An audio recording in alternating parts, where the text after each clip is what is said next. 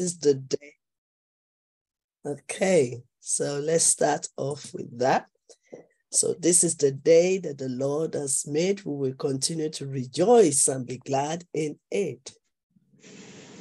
Elizabeth Lucas Afolavlu is telling everyone become a life learner because until you keep learning, you cannot really grow your mindset. And like how we always remind you, mindset is everything. And we have two kinds of mindset. He said that your mindset is fixed or your mindset is growing. Or he said that your mindset is negative or your mindset is positive. But I have a good news for you today. You have the ability, you have the power to change your negative mindset to positive mindset and to also change your fixed mindset to neg to uh, fix and change your negative mindset to positive and fix mindset to growth mindset. And that is why YYC is here building this platform, inviting all our great mentors, speakers, and trainers and leaders to come and share their wealth of wisdom. So if you're on the platform, especially on the Facebook Live, you are all welcome. Sit tight and enjoy the masterclass for today. Before then, let me move on to introduce myself.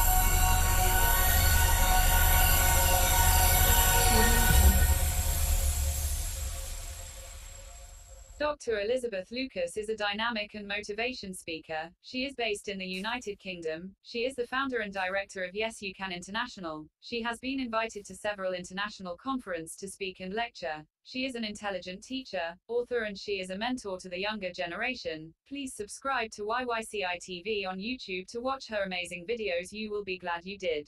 This is just to let you know that there's nothing too difficult for you to do. If we can change, then everything around us will change. Without wisdom, you can't really create wealth. We are in the world of creativity. So feel free to subscribe to yyci.tv YouTube channel for more of all our inspirational nugget of wisdom videos and our previous events on master classes and also conferences. And I can assure you that you will experience transformation in your relationship, in your leadership, and even in your life. So you are welcome. Welcome to Yes You Can International, a home of discovery, development, and demonstration, a home of love, relationship, and family, a place of mastering mindset for transformation and building deeper relationship. YYCI stands for time because time is for everything, for the youth, for the youth leaders, and also young families. And time stands for transformation and training, inspiration and impartation, mentoring and motivation, and above all, empowering our youth, our young leaders, and young families and also educating them. YYCI has a mission is to engage the youth's mind positively and take positive action. And that's why we keep creating this masterclass for them to keep learning and to help themselves to focus and not to be distracted of everything that is going on in the world and to get better and better and better. And let them also know who they are they have everything within their power, within themselves to be successful, to achieve, and then to fulfill their dreams and purposes. Once they believe in themselves, you will be assured that they will do better, even greater than we adults. And they can also influence their, their, their friends, they can influence their peers, and they can influence, influence the generation to come. And that's why we arrange master classes and workshops and conferences and seminars monthly. Our youth need us to guide them, lead them, mentor them, and save them from destruction, misguided, and confusion. Our youth need us to listen to them, to give them opportunities, platform to express themselves, their concerns, their ideas, missions, dreams, aspirations, and visions. They have so many questions in their minds, and they want to, they're looking for who will answer those questions for them. We also set a platform for them to network together, both locally, nationally, and globally, and to empower them to do something great for their lives and future. And that is why we, YYCI, stand for. We have so many programs for them that they can tune in and enjoy and help themselves. We also have some various books. We are encouraging them also to write their stories, their books, to write their articles, and become a co-author or author of their own book. All these books are available at amazon.com or amazon.com.co.uk. We just launched a very wonderful book by my own husband, which is How to Change Your Mindset. That also, with other books, are available at Amazon.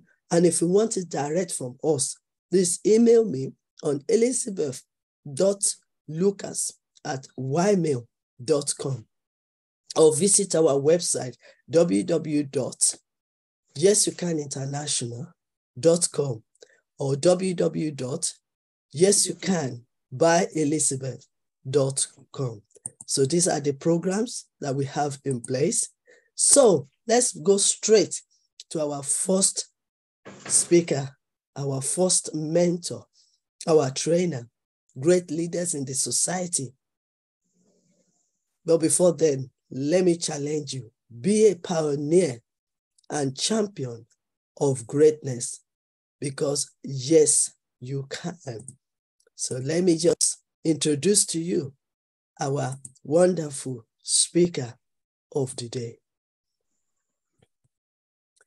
Okay, so our first speaker will be Reverend Professor Anek Fok Akpabio and he will be sharing with us today on the place of focus and determination in leadership. Because when we're talking about leadership, he will also be relating it to relationship as well. And that is why you are all here to listen and to learn from his wealth. Now, who is our Reverend? Ambassador Reverend Professor Anifok Akpabio will be is, is an electrical engineer and member association of supervisory and executive engineers of London, AMSEE.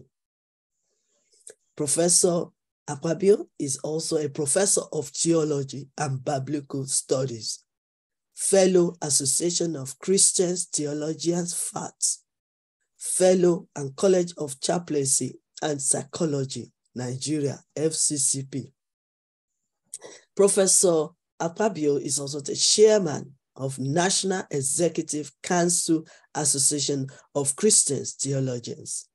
He's also the provost of World Harvest Bible College and Seminary, Calabar, CRS, Nigeria.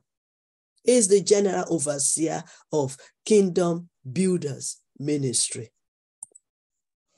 Professor Akpabio is also the president and visionary of Ministerial Consultancy Network. He has a licensed marriage counselor and teacher on martial issues. He is the head of administration of World Organization of Ambassadors African Channel, WOA. Professor Akpabio is also an international and continental speaker in conferences and seminars. He's a member of Bible Research Institute, MBRI, theological scholar and book writer. He's a child of God, a minister of the gospel, who is called to teach, to preach, and take people to their God's destined destination. A privileged and accepted speaker of Yes You Can International, and is also one of our patrons. So let me use this time to welcome Professor Reverend Anek Fok Akpabio. You are welcome, sir. Thank you very much, my, my queen. Thank you, every of those who are going to speak in this program and all who are going to listen. I am trusting that God is going to meet us at the point of our needs. And so, welcome. It will be a good time. And I want you to be a part of where we are going. And like the Queen have said, if there is any question, we'll be ready to answer them because he who asks question know better. Thank you. I am speaking today on the place of focus and determination in leadership and relationship. When we look at this word, I quickly come into the scripture in Luke chapter 9, verse 62. Jesus said, Whosoever put his hand in the plow, looking back, is not worthy of the kingdom of God. Which means there is a need that we continue so we can get to where we are to go. And look also at Jesus, rendered in the book of Hebrews, chapter 12, verse 2 and 3. Looking unto Jesus, the author and the finisher of our faith, who for the joy that was set before him, he endured the cross. He despised the shame. He was moving towards. And that means he was focused on what he came to do. And at the end, he could say on the cross, it is finished. If a leader don't come to this state of life, we realize that he may end in a way that is not okay. I look also in Ecclesiastes chapter 11, verse 4. The Bible says, He that observeth the wind shall not sow. So as we go on, I, rem- uh, I want us to know that focus and determination are the two key principles that will make a leader to succeed in leadership and also in relationship. Because there are many things that distract attention, many things that bother our mind, many things that in and talk in our brain that can distract us and make us to see them fanciful, not what it should be. So that's where we are going to go, and we are going to take the example or the case study of Gideon and jo- jo- uh, Jonathan to see the focus and to see what it is. I come to word study. What do we mean by the word focus? Number one, I say it is a center of activity, the center of attraction, and the center of attention where every concentration is focused on. So, focus is that if I am doing a thing, if I want to be trained, I have a center of that activity.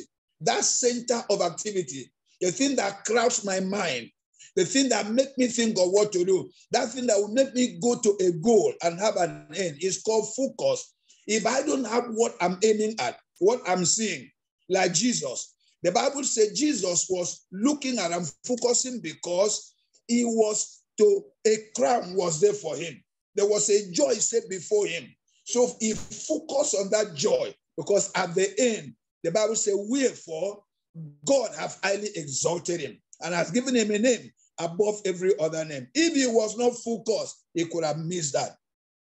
Focus number two can be a directed attention, a directed distinct vision, or a clear image. Focus can be called a clear image or a directed attention. So if you don't have a clear image of what you are doing, you will not make it to the end because other thing will be seemingly. Here in Nigeria, we always make a statement. If it's not Panadol, it is not Panadol. If it is not what you are looking at and you go and miss a little, we see we have a problem. So focus can also be seen not only as a directed attention, it can be seen as the motivating purpose. That is the one I want to use as a key definition. The motivating purpose or principles, objective that one gains to help him succeed? Do you have as a leader a motivating purpose? That is focus. That thing motivates me to talk. Sometimes motivate me to keep quiet. Sometimes motivate me to leave every other person and see what I am doing. If you come to a position of leadership and this is not there for you, you say you are not uh, focused and you will not succeed. When we talk about determination, what do we mean by determination? I said determination is a position arrived at after consideration. A position arrived at after consideration. You have determined to do something, and then you focus on it and continue until you arrive at what you decided. That's uh, what we call determination. We can also say that determination is a purposeful firmness, a resisting distraction, and a decision to finish what we started.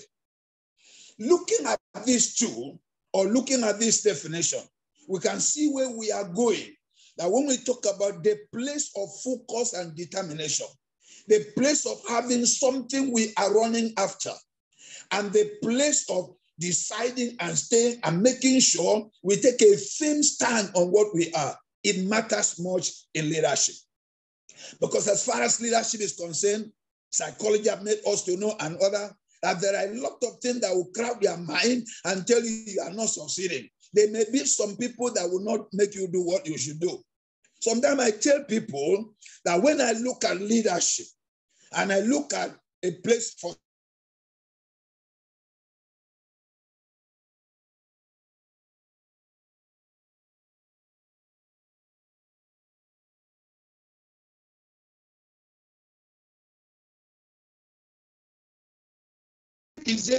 He picked the ball. It's not a goal. It's goal. It's not a goal. It's a confusion. You must see also we have, we have not only the spectator, we have the referee. We have the other people who will stay in the house and say, he didn't kick well, he didn't do this. It, it, they are not in the field, but you are in the field. Then we have a referee.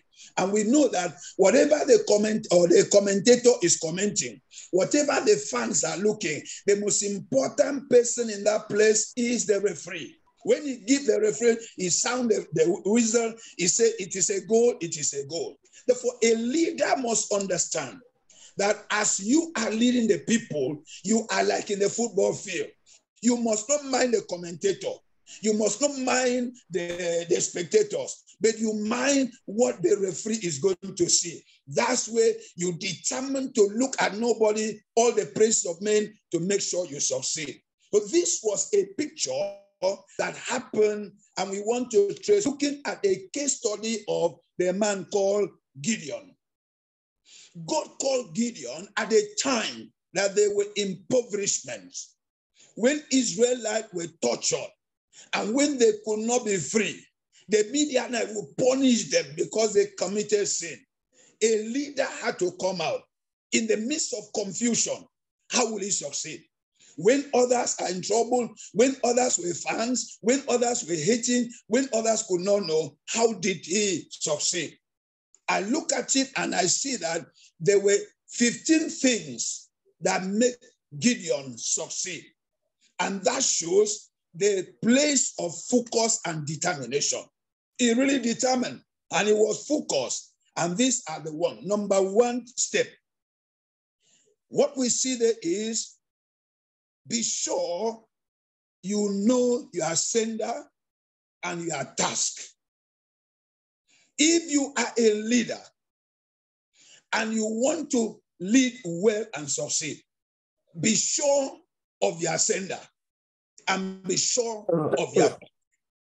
When you are not sure of your sender, when your sender may be in this case what you are called to do, the objective of your leadership, the goal that you want to bring, What, like in transformational program here, what which area are we transforming people?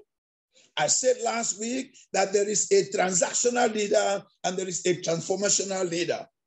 Like that, you see, you know you are sender. Gideon, when he was to do the work, an angel appeared to him and told him, You are a mighty man of valor. You can fight the battle. He said, Look here, if I am what you say, show me a proof. A leader must not just pick the work and begin to do it when he does not understand what am I saying to do? What am I going to achieve? Who is backing me up? Who gives me the instruction? Who gives me the imprint? Who will encourage me? Whom am I accountable to? Some leaders, because they don't know whom they're accountable to, they do anything they can. But we must know that the number one thing about focus and determination is that you must know your sender and your pop task.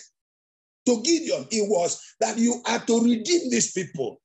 To us in leadership and this program, we are to transform our nation. There are a lot of people. I called somebody the other day and asked him, which one is very important today? Is it transformation or reformation? We see we go reforming, reforming, reforming, and life are not transformed. So our task is to transform and not to reform. So know your task as a leader, as a young person, even in relationship. Know the task. What am I going to achieve in my marriage? What am I going to achieve in my relationship with somebody else? What am I going to achieve in this place of work? That will help to make things go. So when you know that, you see that the magnitude of the task ahead of you determines your seriousness. When you understand clearly the magnitude of the work, you will do it well. I learned a lesson from Jesus. When he healed the blind man in Mark chapter 8, in that verse 24, he told the blind man, What do you see? The blind man said, I see men like trees walking. And Jesus said, Come, come, come back. He laid his hand upon him and said, What do you see? I can see men clearly. If you are not clear about leadership, you will not succeed. If you are not clear and determined to succeed, you will not make it. So let's have the number one vision. What am I going to do? Who is backing me up? What is going to be the last end? When you do this, you see you will succeed in leadership. Step two that we learn from Gideon is that he understood what he was called to do. He understood what he was called to do. He told the angel, If I'm a mighty man of valor, wait, show me this sign. I want to see this happen. I want to see the other one happen. And he decided to do it because he understood. Many people who are leaders don't understand what leadership calls for. We know sometimes we say leaders are born or leaders are made. Either a leader is born or a leader is made. Made through training, as we are training now, born with a capability of leadership. But I come to see almost everybody at their level is a leader leader in the home, leader in the house, leader in discussion, leader anywhere. But this one, we are looking at the one that you take people to somewhere, a task that must be fulfilled. So you must understand what you are talking about. You must understand uh, what you are called to do. Am I called to bless these people? Look at Moses. Moses was called to lead the people into the land of Canaan. What are we called to do? After making this transformation in the life of our people, where do we leave them? I thank God when we're discussing before we start, the Queen told us there are some uh, youth everywhere. And when we go to those programs, we can bring them together and make them know where they are going. One thing that the leaders sometimes do, we train people, we leave them, and they go out without supervision. We don't look at what they are doing. We don't know what they are doing. Only we know they have been trained. Like in the Bible school, I'm the head of the Bible school here. We have trained a lot of people. Some of them have become mighty but some of them they go nowhere because we did not do sometimes we do what's supposed to do or the church that sent them to come and study they did not even understand what they should do. So understand what you are doing. Understand first who has called you, their task. Understand the, what you are to do and where you are going to. Number three, have what it takes to deliver and lead the people. You know, we see today incompetent people leading. We see today incompetent uh, uh, people who are not competent enough being at the altar preaching the gospel and saying they are ministers when they are not. Someone was asking me a question. I told the person, a pastor or a minister is bigger than I didn't know. If you didn't know, you should be trained. So in this program, as we are here, let us know that the number three thing becoming making talking about focus and determination is we must have what it takes. If it needs training, be trained. If it needs humility, be humble. If it needs reading, read. If it needs anything for us to uh, present an academic property, let's present the academic property. If there is a need for research, we go into research. If there's a need for psychological view of things, we need to do that. I learned also from Jesus in John chapter 2. The Bible said Jesus did not commit himself to anyone because he knew man.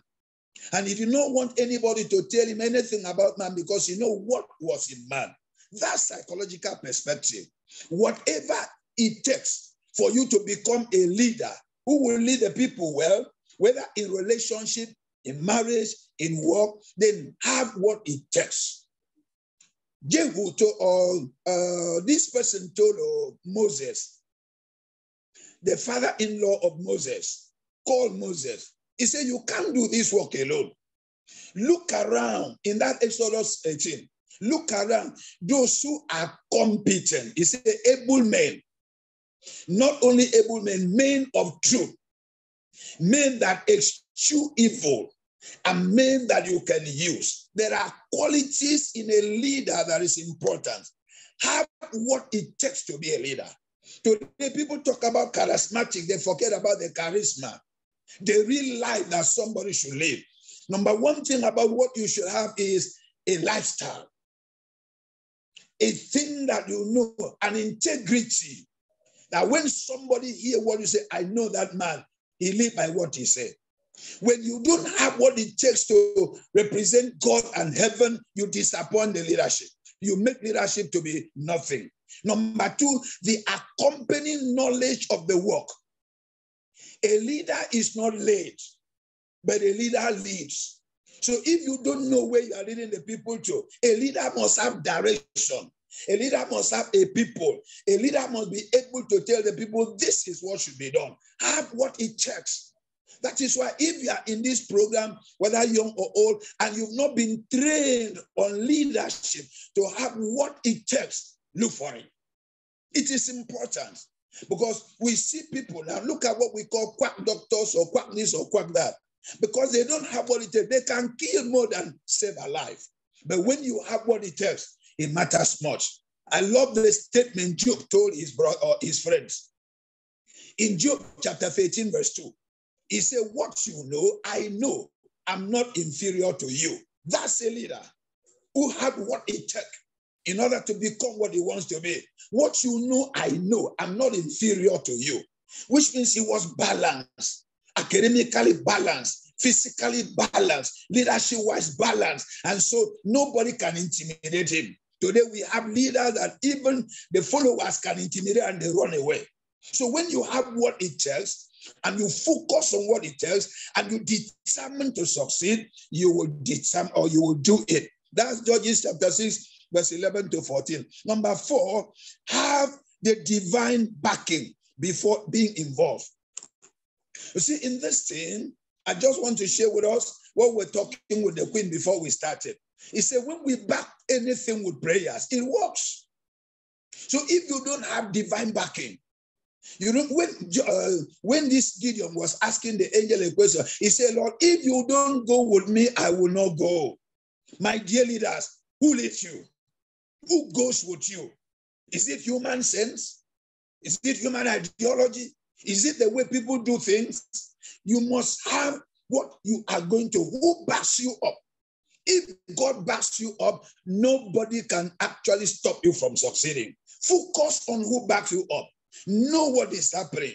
I tell ministers and I share with all of us let God tell you what is going to keep you that when it is tough and rough and you want to run away, you can remember a word that was spoken to you. That's a backup. A word of God that can back you up the God Himself that can back you up, the Spirit of God that can back you up. Let's know what backs us up. When you have a divine backing, you can move on. That is that Judges chapter 6, verse 15 to 24. He had a backing. And because God backing up is succeeding. This one is not a governmental backup because they can fail. This is a divine issue in leadership. Number five, I say here, deal with family altars. It is important in leadership. You know, when Gideon was about to go and then deliver Israelite from the Midianite, God said, Go to your family altar, break the whole altar, make sure you destroy them, and set an altar for the Lord.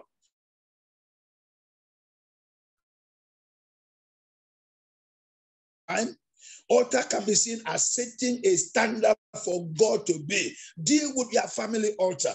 Many leaders could have succeeded, but the symptom of the family that they come from becomes a problem.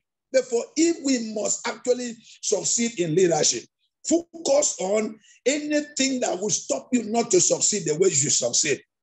I love Colossians chapter 2. The Bible said, blotted out the handwriting of ordinance that was against us. He took them out of the way. He nailed them to his cross. Therefore, there must be a taking out of anything that will do. Ask yourself a question. Why did God tell Gideon, go and break the altar from the house? And he decided to go in the night, scatter the altar, break the altar of Baal. And when the people woke up in the morning, they went and then told the father of uh, of uh, Gideon. He said, "You are child." He said, "If Baal is God, let him come and fight." When you break the altars, you will see that you have the freedom to flow with God and God alone. Leadership is not just I go with my power. Leadership can be backed up when the divine process is being achieved and encouraged. Number six, I said, remember it is not the number that matter, but the chosen ones. Let us know as leaders, not the crowd of people that follow you that are going to make you succeed. If you focus on the crowd, you fail. When these people were told to come and fight, 33,000 followed. It is not the number that matter. It is how we can invest life in few that can spread. Jesus had disciples, 500 disciples, 70 disciples, but he chose 12, invested his life in them. And when he invested his life in them, when he left, you can hear in us, he said, These ones have turned the world upside down. Therefore, know that it is not the number, but the chosen. When you know those who have been chosen, that's why prayer is also essential.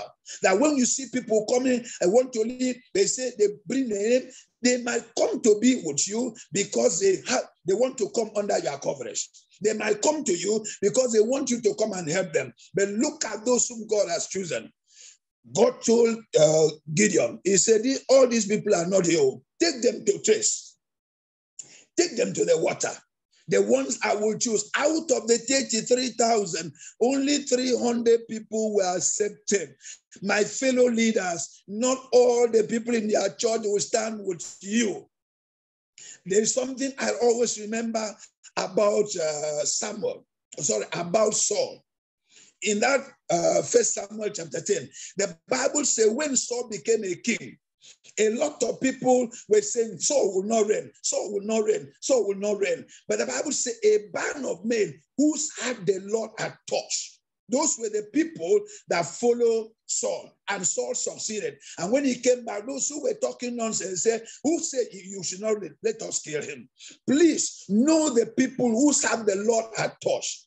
If you are a pastor here, you can have a crowd of 5,000 members in the church, and only two or three or five, maybe the one who serve the Lord has touched for you to support you, to help you, to sustain you. My queen, also know this that Almost all of us stay here. There are some whom the Lord has told they have for you and they for use. Those who had has not been taught, they will always come here and talk and talk and then go. So if we know those whom the Lord has taught, they chosen, it will work well.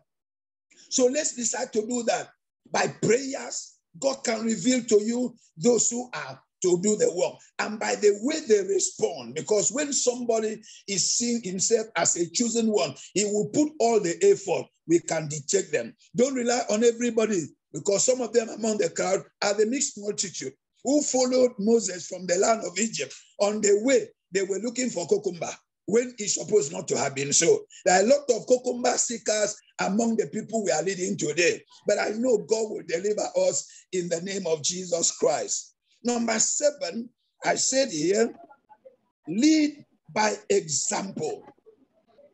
Focus on leading by example. Determined to lead by example.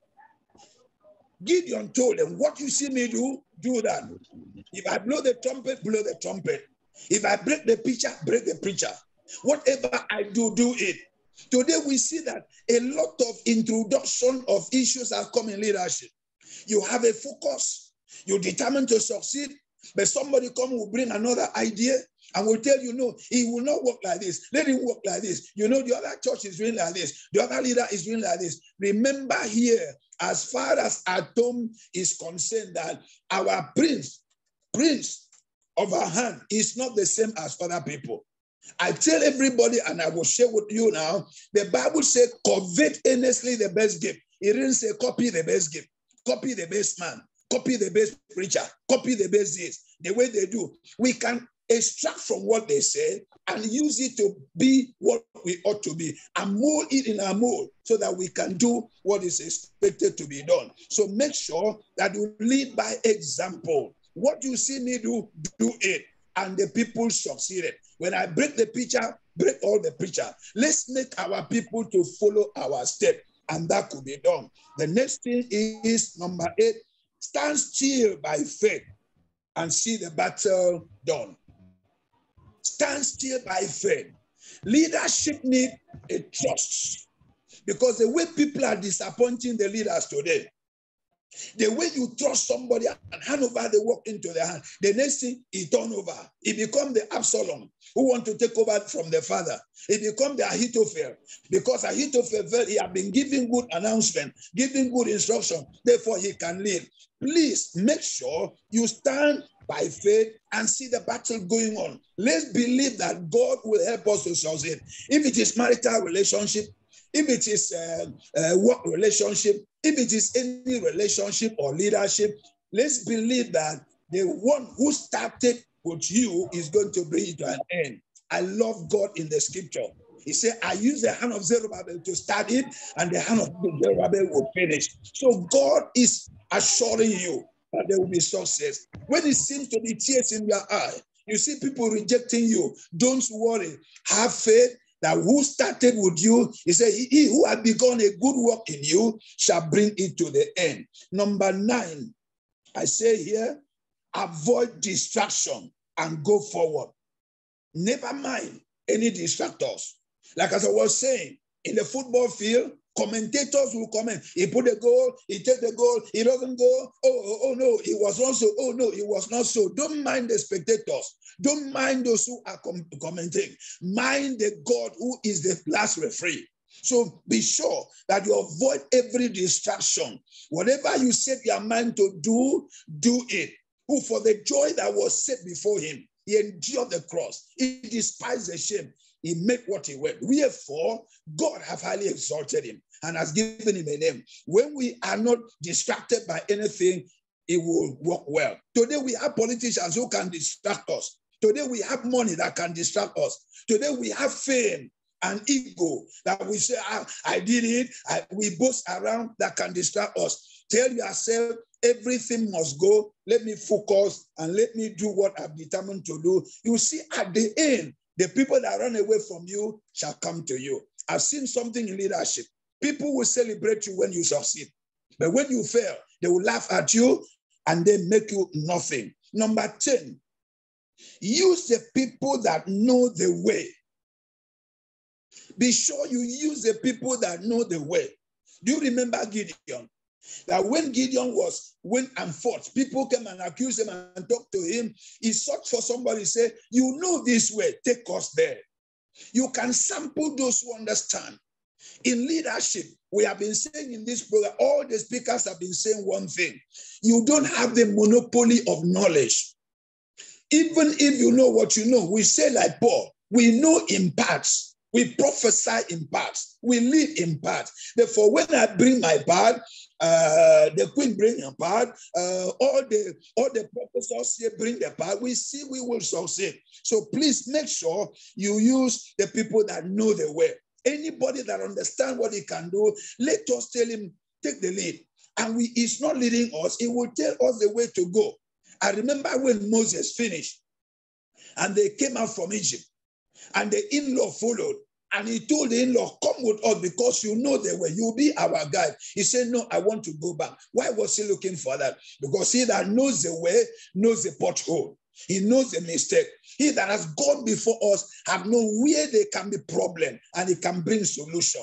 Let us know, we leaders, find another leader, at least by God's grace, that may have knowledge either than you or like you, so that you can share iron sharpened iron. So when we know these who have known the way, they'll be able to lead and help us to go. Then we say here, number 11, avoid self applause.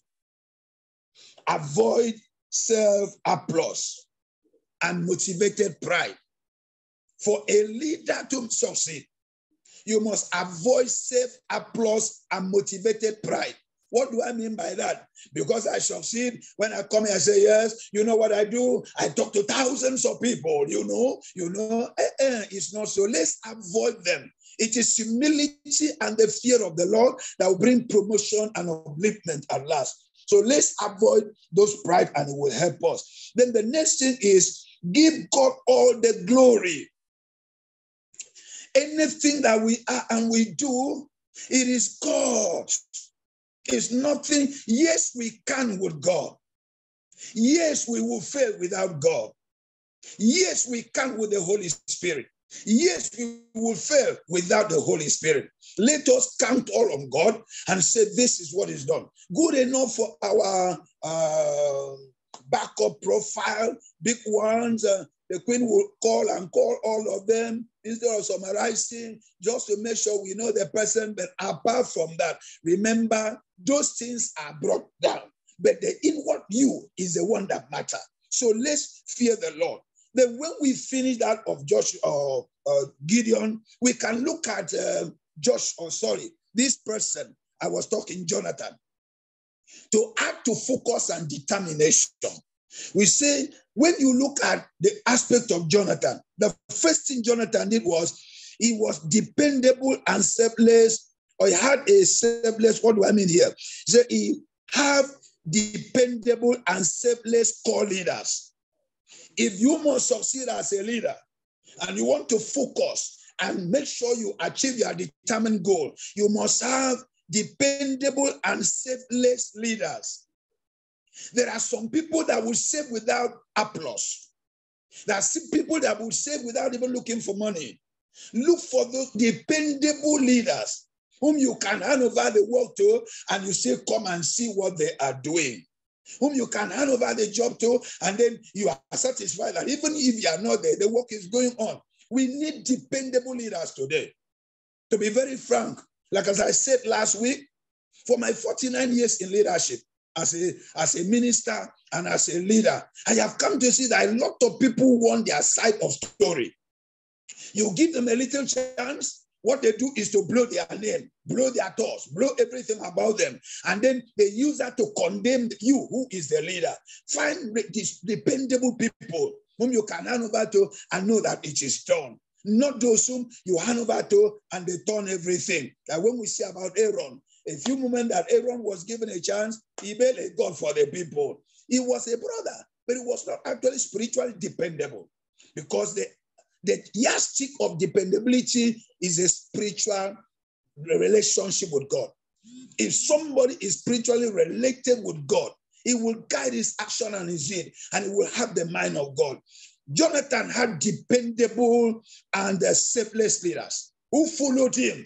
He told the, uh, the armor bearer, he said, follow me, climb the top of this hill. It was rough and they were going on. At the end, they came back to bring the glory. The next thing is be careful of your followed pressure. Be careful as a leader of your followers' pressure. Followers' pressure. Do you remember that uh, Saul could have been a successful man, but the followers were the problem. Samuel have told him, I'm coming in the next seven days. So I will come to sacrifice. Don't do anything. But when Samuel left, and because Samuel came late, by this time, the people are pressurizing. The people are going to kill us. Wake up, wake up, wake up. A leader must not act by pressure. If you act by pressure, you may not meet the focus. You may not meet what you were determining to do. Pressure make us uh, stressed up. Pressure make us take an urgent decision that doesn't make it. So be careful of follower pressure. Don't do this. Let us go. And when he sacrificed and finished, Samuel appeared. And when Samuel asked him, Why have you done? He said, The people told me. The people told me, the people told me, please, as a leader, never move by the pressure of people. Never move by the pressure of your impulse. Do it, they will take over. Do it, they will do it. No, go back to God. Do what David did. He said, Lord, should I pursue? Will I overtake? Will I take everything? And God said, Go. Another time when something happened, in the same chapter, he went to God and said, Should I go? God said, Don't go until when I move. Let us be free from pressure. One of the problem of leadership is pressure by the followers, pressure by situation, pressure by ourselves. So when you are able to be free from them, you can now take your personal decision. You hear some of our leaders in our nations, they'll say, I take the blame. Why do they take the blame? Because they did it on their own volition. They were not doing it because people pressurized them to do it. I take the blame. So when you do anything, you can take the blame when you were not pressurized to do it. The next thing that will help us to really have the place of determination and focus is know what you don't have and how to get it. Not all of us have the material of leadership in our hands. Know what you don't have and look for it. You don't have the patient enough, live patient. You don't have the right person to do that, do it. You, you, you don't have the accountant to take care of what you are doing, look for an accountant. You are a preacher. You may not be all the field. We are not all things to all men. It is only God who is all things to all men. But when you know what you don't have and you look for it, will be better. That's where we talk about uh, improving ourselves, transforming our life making sure we have what it takes to become. After all, thank God for the scripture, as many as receive him, he give them power to become. There is a power to become what we have not. So when you do that, we come to take the lead first and let the people follow. When you know where you are going, when you know what you are doing, you take the lead first and people will follow you. That's leaders. A leader don't stay at the back and let people go in front. Is now a lead. Take the step first. Do what I say. He says, Look at me and do what I do. That is very rare today. Some preachers and some leaders will say, No, I'm a big man. Do this thing. Don't look at me. Oh, I'm now old. I'm now, eh, eh. That's not the thing because God has called you. Take the lead first and let people follow you. When that is done, I say here, know your strategy. If you are a leader and you want to succeed with focus and determination, know your strategy. How are you going to take the kingdom? How are you going to take the Canaan? How are you going to take the Egypt? What are you going to do to get what you want? Know your strategy. Put your strategy on ground. Most of the time, your strategy should be decided with you and God and competent people that can help you. They give you the strategy. You know, if I do this, it doesn't succeed, get this. A leader should know and have what we call plan B. Plan B in leadership. If you try this, it doesn't succeed, take plan B. If you go to plan B, it doesn't work, take plan C. Be, be, be ahead of problem. Be ahead of time so that when you do that, if the plan B doesn't work, plan C will work. Or you can retreat back to plan A. This is what we're to do. So know your strategy. A, a leader is a strategist who will know what he's doing and where he's going. When you see all this thing being done, you realize that you can really succeed as a leader when you are focused on these things. And I say here, when you succeed, others are bound to celebrate you. Leadership should end with success. I learned a lesson from um, Adonijah, Solomon, and David. People followed Adonijah in order to crown him king. They poured the oil upon his head. They blew the trumpet there. But when Nathan went and told the king, This is not what you said. And the people, Nathan made a statement. He said, Everybody is looking for your voice. And when David said, Do this, call this and call this, let them pour oil on Solomon. And when they pour oil, they blow the trumpet. There is somebody that should blow the trumpet. And then when you know where you are, and when you know uh, when you succeed, as you succeed, you see, you know the strategy, you know to join. Let people not celebrate you anyhow. There is an all. When they celebrated Solomon, all the people that joined Absalom they, or Adonijah, they ran away. So please, as a leader, don't move by sentiment. You have a purpose. You have a goal. Be sure of where who the oil comes on the head. Be sure whom you give the mantle to. Elisha was not selfish to withdraw the unction upon Gehazi because he did not have the right spirit. He decided to go with the, the, the, anointing rather than having it into a person who is going to destroy and look for money and money alone. But when Elisha took over from Elijah, he knew Elijah had something and he grabbed, his spirit grabbed that of Elisha Elijah and he moved together. But Gehazi did not have the heart of Elisha as Elisha had to David. So, for what you are to do, my beloved ones, let us remember when you succeed, others will follow you. If you fail, they will make you a jesting stock. I pray that with this thing that we are talking and we are focused and we are determined and we give determination and focus a purpose, you see, you will succeed as a leader, unbeatable, unchangeable, and undisturbed. God bless you. Thank you. Because of my time, I always keep to time. I want to be sure that uh, we know that this is what we can do. Next day, we will hear more. God bless you. Thank you so much, sir. Thank you so much. Great, great, great, great uh, blessings that you have given us today. And we've really, I've personally been jotted so many things down. And I really like that area that you really emphasize on because I know sometimes we don't touch on that. But now that you've uh, raised it up again, I think it's better for us to also think about that. And that is be careful of your followers' pressure. Because sometimes what we do as a leader, sometimes we can be cut off with other people's uh, pressure. It's like probably you've planned yourself, you know what you want to do. And then when they start giving you one thing or the other, you need to reassess it before you now, you know, being cut off with that. And I like the place that you said, never move by the pressure. Oh, yes. That's what uh, the young ones we call peer pressure. Because sometimes we want to do things because others are doing it. But if you want to be distinguished and be a transformational leader, then you have to be the leader. You have to be a pioneer. You have to be a champion of what you are doing for people also to follow.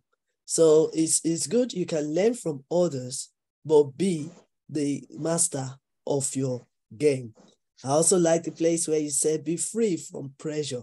Pressure can be from situation, can be even ourselves and others. And know what you don't have and how to get it. I think that is very important as well. And I think that is why masterclass is very valuable because you don't know it all and no, no knowledge is waste. So when you keep attending seminars, masterclass, workshops, conferences, and you keep reading and keep researching and you keep watching videos, then you will gain more knowledge. And when you gain more knowledge, you are adding value to yourself and you will be able to add value to others. Then there is a power of to become. Oh, yes, we all need to be reminding ourselves that we have greatness in us, that we have the ability to change things around, that we have the ability to change our mindset from negative to positive, that we have the ability to change and transform our situation, our lives, and our relationship. Because with God, all things are possible, and there is nothing too difficult for God to do. So if you just believe it and have faith in yourself have faith in God, then you can step up and you can do what you need to do. And also, I like the place where you say leader must know their strategy because all leaders are strategists. So yes, you need to know what you are, what you want to do, what you want to achieve, where you want to go, what you want to accept, what result you want to take. So you need to plan it right from the beginning and the goals towards it. So, and that is the goals that your followers, your employ, employers, I mean, your employees, even your trainees and your mentees will follow. And also, we need to rise above the problem. That is very, very important. We cannot deny that there is no problem. We cannot deny that there is no challenges. But if you yourself determine in yourself that I will rise above it, because we have the ability in us to, uh, to rise above it and also to press forward. Very important. And when you succeed, others will follow you. But when you fail, people will be just of you. That is very important. And that's one of the reasons why you need to take it and be determined and focused that you will succeed in respect of every obstacles and adversity and circumstances beyond control that surrounds you. You will still succeed. Why? Because you want people to learn from you, because you want to add value to others, because you want to be the pioneer of what you are doing, because you want to be a transformational leader, because you want to be the leader that impart into other people's life. So on this note, I want to say thank you so much, Professor, um, Reverend Professor Akpabio, for really starting off the section with us today. And I have a question from the audience. The first question is, what can you do to motivate a team when you are a leader? Okay. Or to motivate a team? Yes, when you are a leader. Okay, actually, we must know what they are looking at. And when you know what they are looking at, what you can do, uh, leadership is sacrifice. One thing, that's one thing I have seen. Leadership is sacrifice.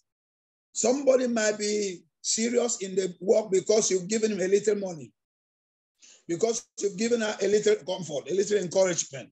So if we are to motivate our people, let's know what are they looking for. There's what we call need. There's what we call want. Is it a want or is it a need? If we know it's a need, we can look for a way in order to solve that need. Mm-hmm. But if it's a want, we can advise. There are some people that could serve God very well, but because they have a need that brings them down, they will not be able to do it. So when a leader look at that and see that what he can do is find a way to solve that problem. Uh, look at what happened to, to David when they carried the wife and everybody away. They came and saw a young boy who was left on the road for three days. He did not eat. He was almost about to die. And David said, Who are you? He said, I'm this and that. He gave the number one, he gave the man food to eat, and the man was strengthened. It was when he was strengthened, then he said, Where is his people? They carry them there. The person feeble one in our midst that want to be helped might be like that boy who will make us know where the secret of the work is. So, whatever they need, if it's prayer, if it is counsel, if it is money, if it's encouragement, let's do. But if we realize that they are three keysly, just one is a want, not a need, then we can tell the person, wait first. There are some emergency, even in the hospital, there are some emergency and there are something that will take time. Whatever it takes, you can sacrifice to get what you want. Because when you succeed, the person that follow you to succeed will enjoy and you enjoy together. So there should be a taking action at that time in order to settle that matter. Wow, thank you so much, sir. I know you always um I know that you today you were discussing about focus and determination in leadership. But knowing who you are and knowing how many years you've been married and building relationship and being a counselor, I will also throw these questions to you from the okay. audience. What role do relationships play in learning? In learning, learning. What okay. role do relationships play in learning? Okay. You know, when we come into marriage or even in normal, you, you can't relate well if you don't know. You must, I always love that statement of uh, Job. Job said, What you know, I know I'm not inferior to you. So when we come into relationship and learning now, you know, like we, sometimes I tell people one plus one is not two, or it's not one, is two. Some people will laugh and say, No, the Bible says one, and they shall become one flesh. No, when if the husband, let's talk about marriage now.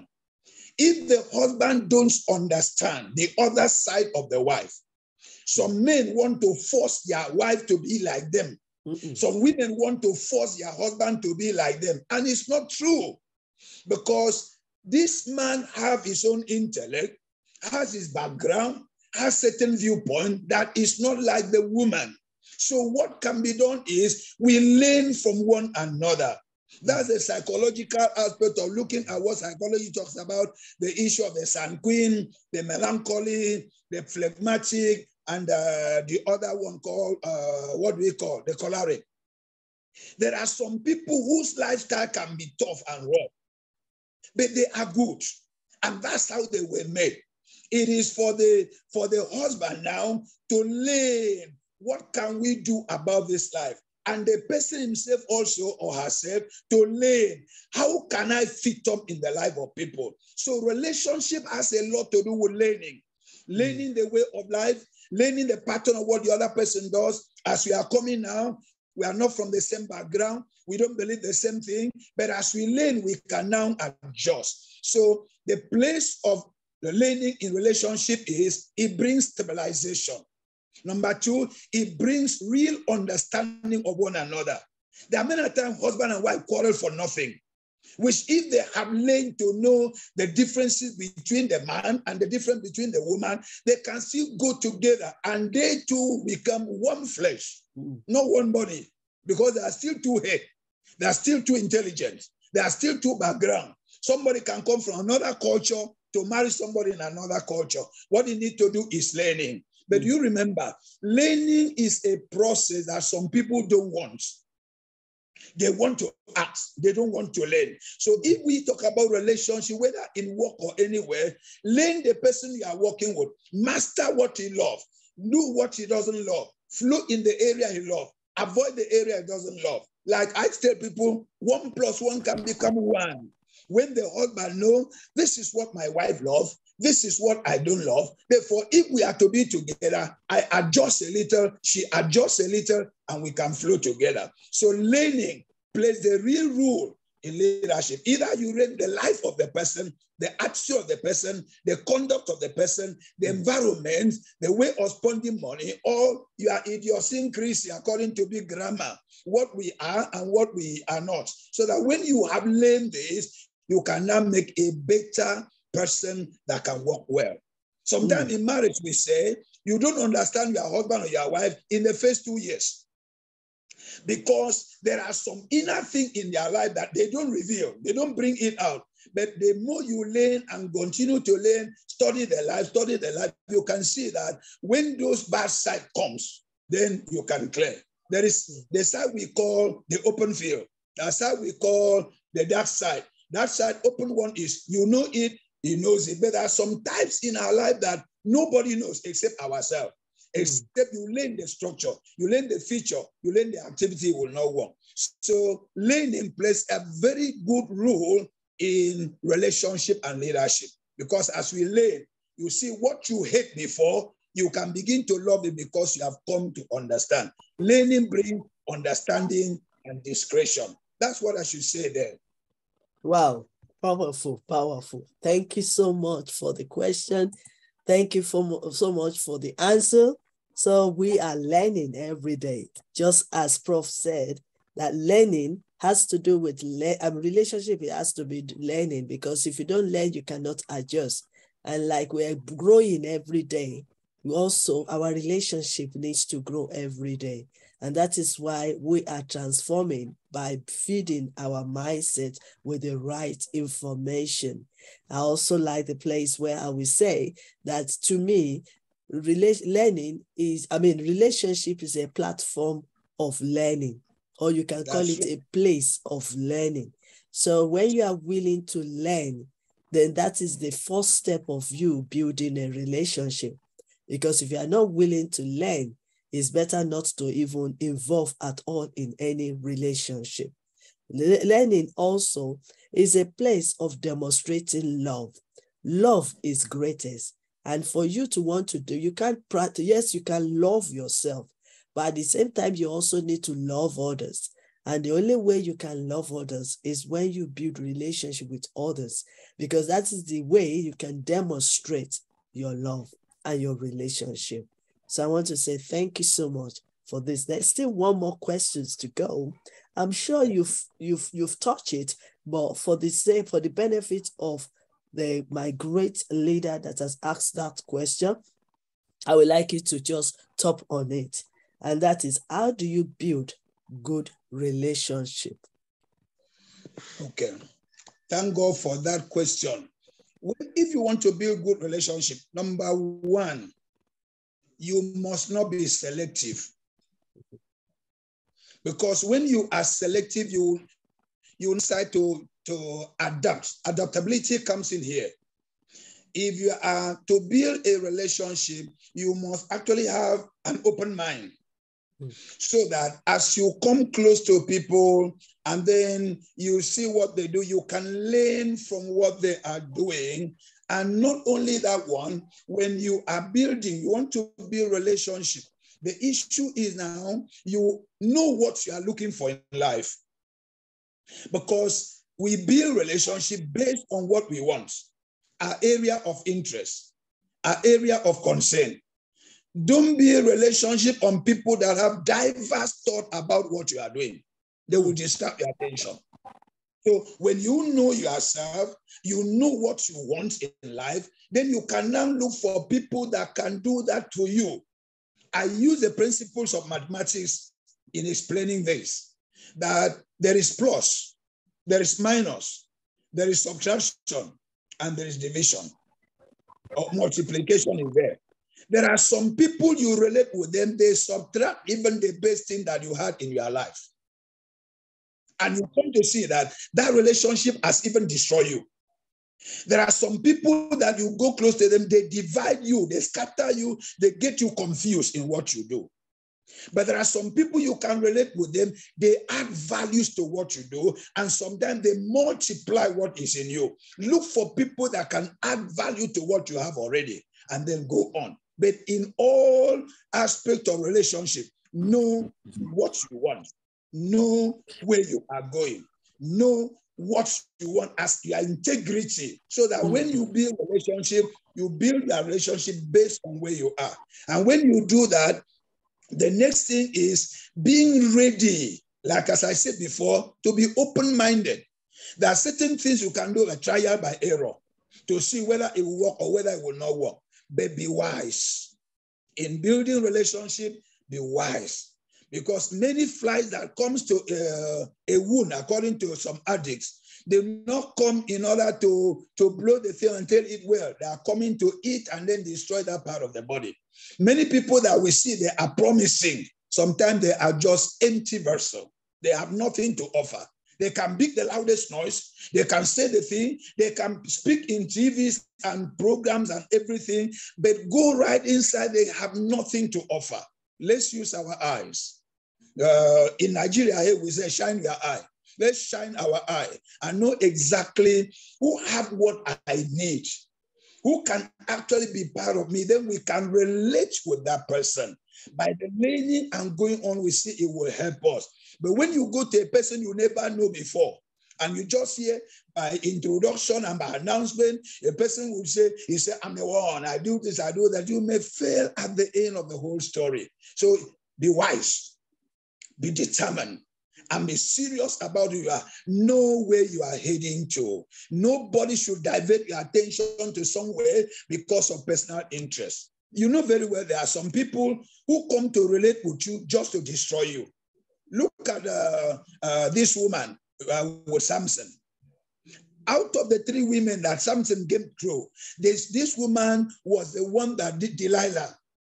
She wanted, he came and told Samson, where does your power lie so that I can destroy you? Samson could have been wise because by the question, he knew that she was coming for a purpose. And he said, he play, play, play. At the end, he said, This is my hair. If you touch this, be careful of exposing yourself to people you don't understand. Be careful of releasing yourself to people that may take you and hand you over to an enemy. We must know that's where comes in the insight and the spirit of God that will lead you to know this person I'm relating with, is he going to help me or not helping me? Even in the church today, remember when Nehemiah wanted to build, they even sent a prophet to go and tell Nehemiah, let us go and pray, and they wanted to kill. So when we are wise, we shine our eye. We know where we are going. We know the kind of people that come around us. We will be able to relate freely. And don't relate with fear. Have boldness because the Bible says fear has torment. Be bold enough. The boldness in you will even influence somebody who wanted to do you bad. And always look at people that they can have, they may do good or they may do bad. Let me share one experience about me. I have come to the level in life that I believe that you cannot do anything bad, you cannot do anything good. So that the day you don't do anything good, I know that's what I know you can do. And the day you can do everything good, I say, ah, I expected that. We quarrel with people and have annoyance and unforgiveness because we were expecting this person to do it this way and they come and they did not do it.